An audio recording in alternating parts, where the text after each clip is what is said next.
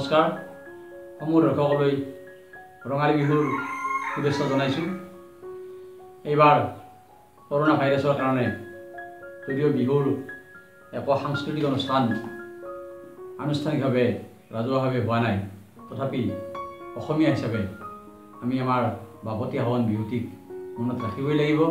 এই ৰঙালী বিহুৰ ৰং কৰোণাৰ সময়ৰ মাজতেই সকলোৰে মনত যেন ৰঙালী বিহুৰ ৰঙে ৰঙীন কৰি তোলে। আৰু কৰোণাক প্ৰতিহত কৰিবলৈ এই বিহুতে আমি সংকল্পবদ্ধ হওঁ আহক এতিয়া আমি আহিছোঁ আজিৰ পাঠলৈ মৰ্ম ছাত্ৰ ছাত্ৰীসকল আজি আমি আলোচনা কৰিম যে এচিড আৰু এই এচিড আৰু ক্ষাৰকৰ দ্ৰৱৰ তীব্ৰতা সম্পৰ্কে। তীব্ৰতা আমি এচিড বা ক্ষাৰকৰ দ্ৰৱতা কিমান তীব্ৰ কেনেকৈ তাক জানিব পাৰোঁ সেই সম্পৰ্কে আলোচনা কৰোঁ আহা। এটা এচিড বা ক্ষাৰকৰ দ্ৰৱ কিমান তীব্ৰ।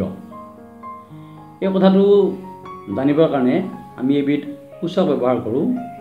নাম হ'ল যাৰ সাৰ্বজনীন সূচক ইউনিভাৰ্চেল ইণ্ডিকেটৰ সাৰ্বজনীন সূচক ব্যৱহাৰ কৰি এটা নিৰ্দিষ্ট এচিড বা ক্ষাৰকৰ দ্ৰৱ কিমান তীব্ৰ তাক বিচাৰ কৰিব পাৰি। সাৰ্বজনীন সূচকনো কি? যে সাৰ্বজনীন সূচক হ'ল বিভিন্ন সূচকৰ মিশ্ৰণ। দ্ৰৱত এইচ প্লাছ এ কিউ আয়নৰ ভিন ভিন গাঢ়তাত এই সূচকবিধে ভিন ভিন ৰং প্ৰদৰ্শন কৰে।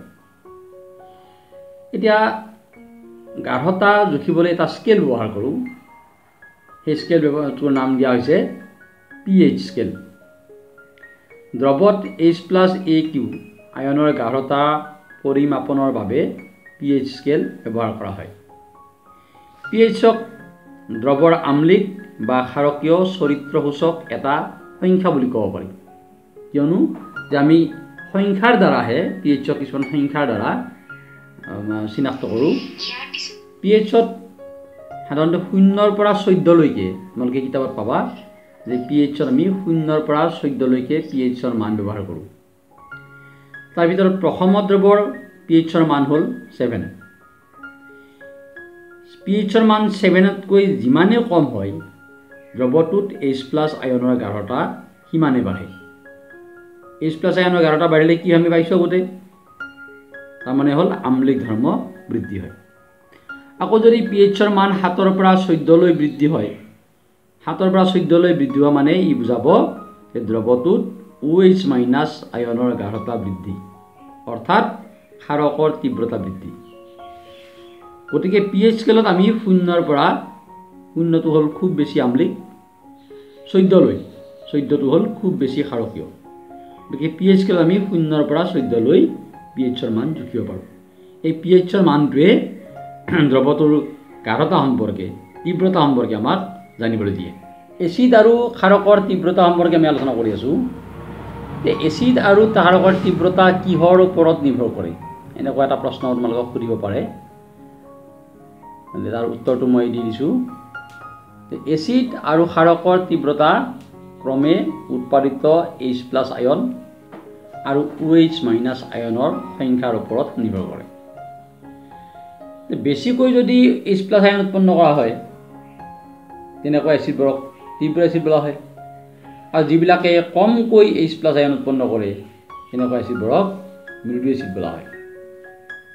ঠিক তেনেকৈ বেছিকৈ ৱেইচ মাইনাছ আয়ন উৎপন্ন কৰা ক্ষাৰকবোৰ হ'ল তীব্ৰ ক্ষাৰক আৰু কমকৈ ৱেইচ মাইনাছ আয়ন উৎপন্ন কৰা ক্ষাৰকবোৰ হ'ল মৃদু ক্ষাৰক আমি ইতিমধ্যে পি এইচ পালোঁ। যে পি এইচ স্কেল যাৰ দ্বাৰা আমি দ্ৰৱত এইচ প্লাছ এ কিউ আয়নৰ গাঢ়তা পৰিমাপন কৰিব পাৰোঁ। এতিয়া আমাৰ দৈনন্দিন জীৱনত দৈনন্দিন জীৱনতো পি এইচৰ গুৰুত্ব আছে। সেই সম্পৰ্কে তোমালোকে কিতাপত পঢ়িলেও পাবা যে আমাৰ শৰীৰৰ পি এইচ আমাৰ শৰীৰৰো এটা পি এইচৰ মান দৰকাৰ। ছেভেনৰ পৰা ছেভেন পইণ্ট এইট ইয়াতকৈ যদি এই ৰেঞ্জতকৈ যদি খুব বেছিকৈ পি এইচৰ মানটো সলনি হয় তেনেহ'লে আমাৰ শৰীৰৰ যিবিলাক বিভাগীয় কাৰ্য সেইবিলাকত অসুবিধা আহি যায়। তেনেকৈ বৰষুণৰ পানীৰো এটা পি এইচৰ মান আছে। বৰষুণৰ পানীৰ পি এইচৰ মান ফাইভ পইণ্ট ছিক্স থাকিব লাগে। যদি তাতকৈ কমি যায় কমি যোৱা মানে কি হ'ব সি? আমলিক হ'ব। কমি গ'লে তেনেকুৱা বৰষুণক ক'ব এচিড বৰষুণ।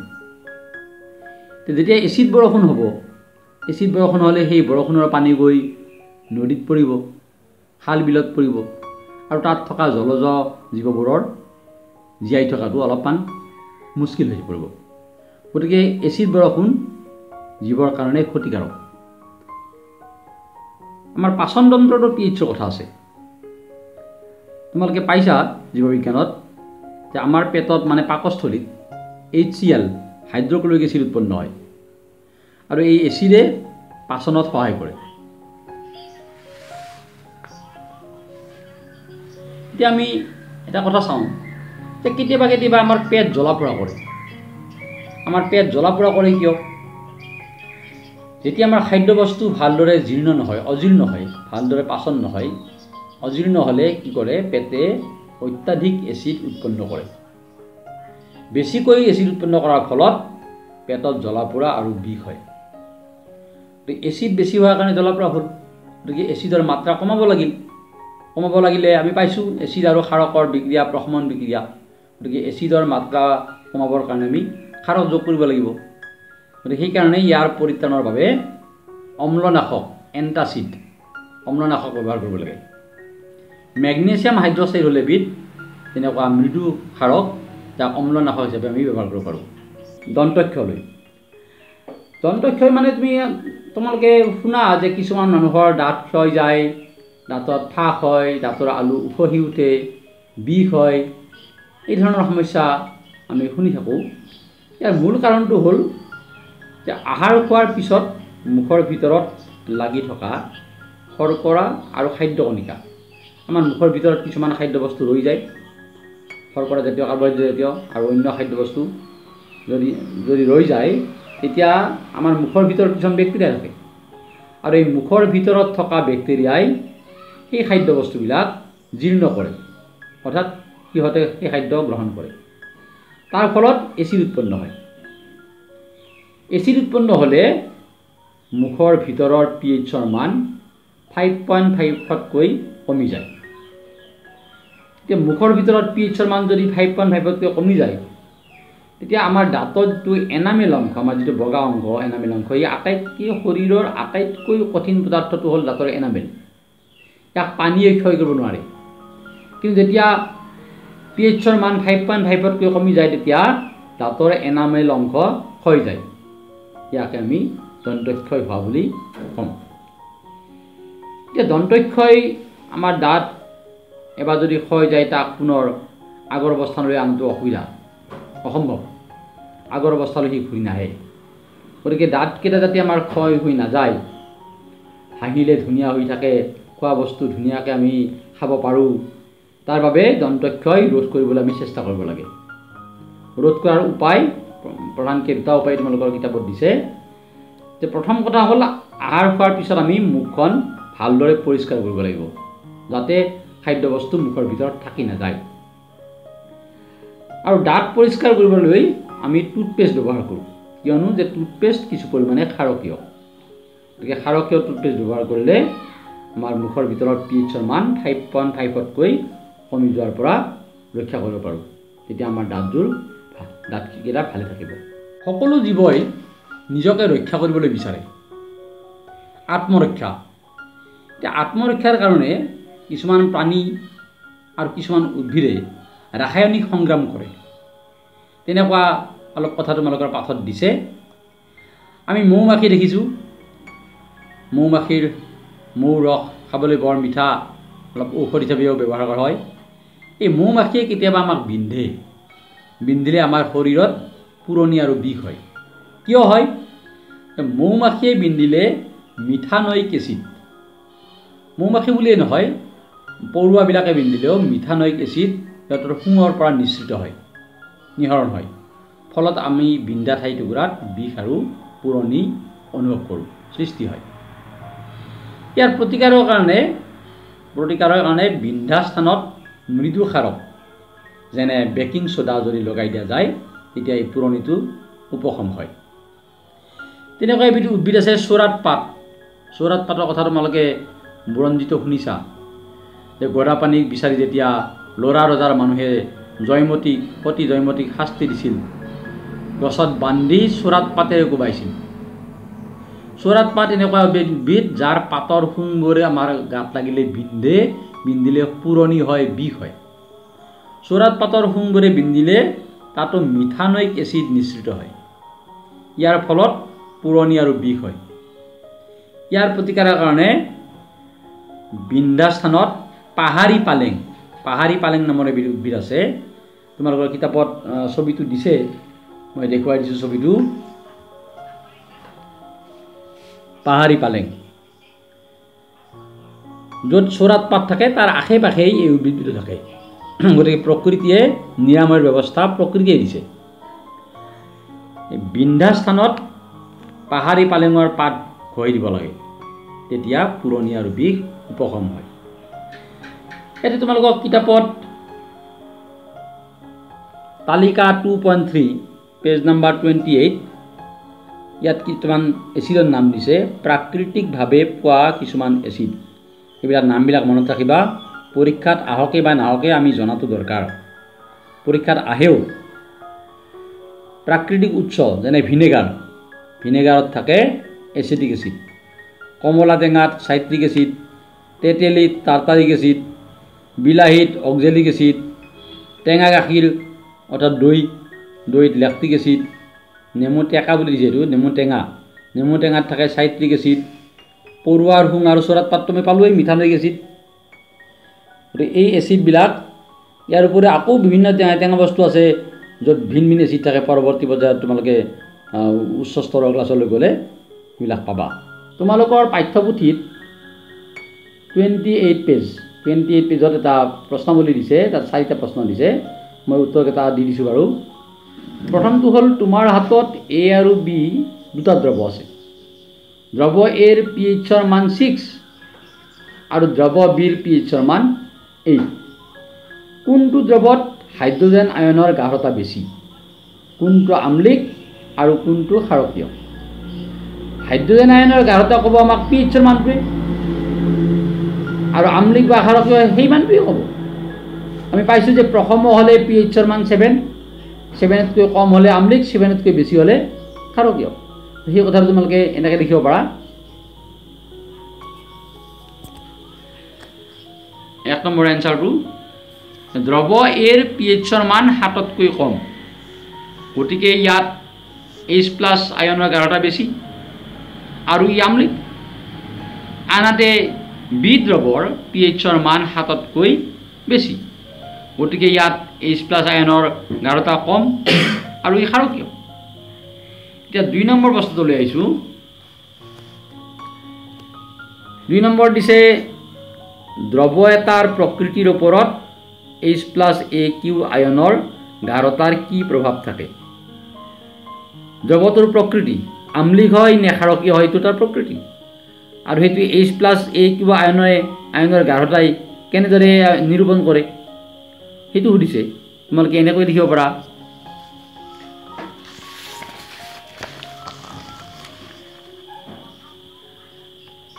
দুই নম্বৰ প্ৰশ্নটোৰ উত্তৰ তোমালোকে এনেকৈ লিখিব পাৰা। কুৱেশ্যনটোৰ এনচাৰ যে এইচ প্লাছ এ কিউ আয়নৰ গাঢ়তা বৃদ্ধি হ'লে দ্ৰৱটো আমলিক হয়। আৰু এইচ প্লাছ এ কিউ আয়নৰ গাঢ়তা কম হ'লে দ্ৰৱটো ক্ষাৰকীয় হয়? তাৰপিছত আৰু এটা প্ৰশ্ন দিছে তিনি নম্বৰত। ক্ষাৰকীয় দ্ৰৱত H plus A Q ion থাকেনে? যদি থাকে তেন্তে ইহঁত কিয় ক্ষাৰকীয় যদি H plus A Q ion থাকেই তেনেহ'লে ক্ষাৰকীয় কিয় হয়? সেই কথাটো এনেকৈ লিখিব পাৰা যে হয় আক্ষাৰকীয় দ্ৰৱত H plus A Q ion থাকে।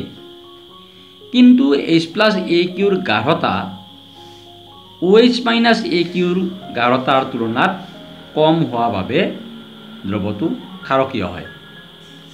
এইচ প্লাছ এ কিউ থাকিলেও তাৰ গাঢ়তাটো অ' এইচ মাইনাছ এ কিউৰ তুলনাত বহুত কম হয়। সেইকাৰণে তাৰ আমলিক গুণটো প্ৰভাৱিত নহয় ক্ষাৰকীয় গুণটোহে প্ৰভাৱিত হয়।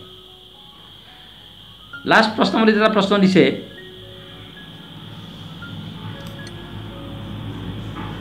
মাটিত কি অৱস্থাত কৃষক এজনে পোৰা চূণ কেলছিয়াম অক্সাইড বা শিথিলিত চূণ কেলছিয়াম হাইড্ৰক্সাইড বা চক কেলছিয়াম কাৰ্বনেট প্ৰয়োগ কৰিব বুলি তোমালোকে ভাবা। এই তিনিটা পদাৰ্থ মাটি কেনেকুৱা অৱস্থাত কৃষক এজনে প্ৰয়োগ কৰিব? এইটো এনেকৈ লিখিব পাৰা। কুৱেশ্যন ফ'ৰ এনচাৰ যদি মাটিডৰা অধিক আমলিক হয় তাৰমানে আমলিক গুণ যদি মাটিৰ বাঢ়ি যায় আৰু গছ গছনিৰ সুস্থ সবল বৃদ্ধিৰ বাবে অনুপযোগী হয় আমলিক গুণ বেছি হৈ গ'লে এচিডিটি বাঢ়ি গ'লে গছ গছনিৰ বৃদ্ধি ভালদৰে নহ'বই। তেতিয়া কি হ'ব? যে মাটিৰ আমলিক গুণ আমি কমাব লাগিব অৰ্থাৎ প্ৰশমিত কৰিব লাগিব।